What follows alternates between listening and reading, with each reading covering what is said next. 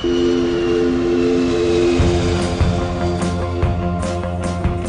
I'm Martine. Hello, I'm Peter. Come on in. Thanks. Who is in the pool house? Her name is Martine, and she is a friend, and she needed Daddy's help. So, Martine, what do you make? It's a film. Peter is helping me with the sound. Gonna work out? Yeah, she's really talented.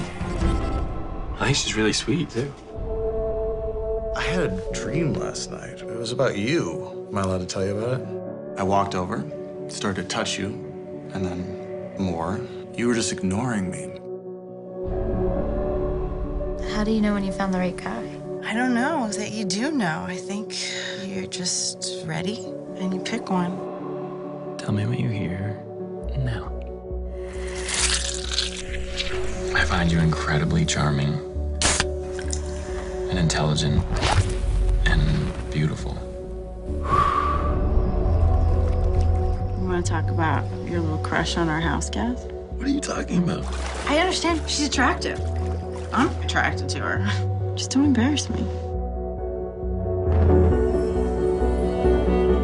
Sometimes there's a person who you know looks right. Marriage is complicated. I want to be alone with you. And when they walk, that walk makes ladies turn to their window and admire. This has gone too far. You betrayed me. Dude, you're married. I see you with the accurate eyes of the sun. You will never have anything or anyone you want. Least of all, me.